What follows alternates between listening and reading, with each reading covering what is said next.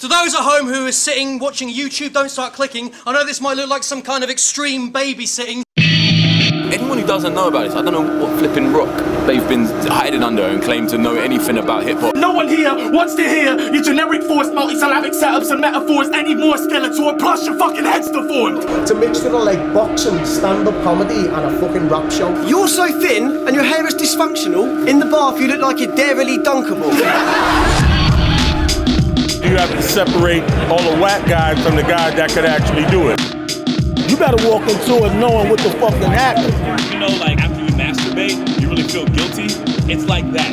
You're so fucking fat and wide, your family on your Arab side don't let you go on camel rides. Battling is bigger than music in the UK. The fans, they're real passionate. It's a good alternative to going out, getting drunk and beating people up. When I battle, there's no line like something could be too offensive. Since you got kicked out on the streets, you're no longer have a fucking family. Proud to say whatever the fuck you want. If you come across as a cunt, it's your own fault. It's a fucking battle, what do you expect? He's come to fisticuffs a couple of times. I'll fucking bang you out. I've had to beg people not to get involved over certain stuff that's been said. You're a faggot, bruv. You need to stop talking bollocks in your battles if you're not gonna fucking back it up. If you say the wrong thing and somebody wants to punch you for that, that's the risky take by being a cheeky bastard, do you know what I mean? Every little thing you've ever said is a joke. You're not a big man, pan, you're a feminine bloke. Every battle you've been in, you look ready to choke, and that's a good reason for you to get off the coat. You ain't gonna win this easily, cause I'm soon to blow like I'm TNT. Your pineal glands full of DMT, and it makes you visualize you're beating me. But you're ready for the lyrics I got. You ain't sick at the top, you just say funny shit on the spot. Organik offered me to go king of the dot, and he didn't get called. Oh, you think he forgot?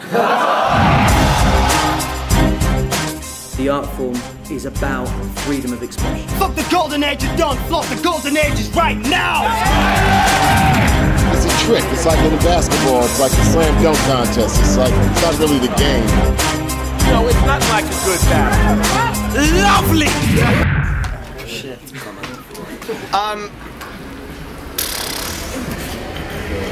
Uh, oh.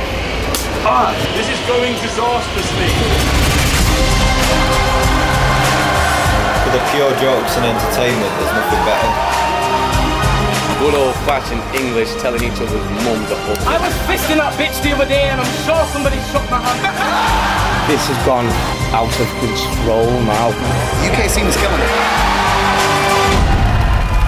There's one hypothetical mum which every battle rapper shares. We're not talking about your mum, it's our mum.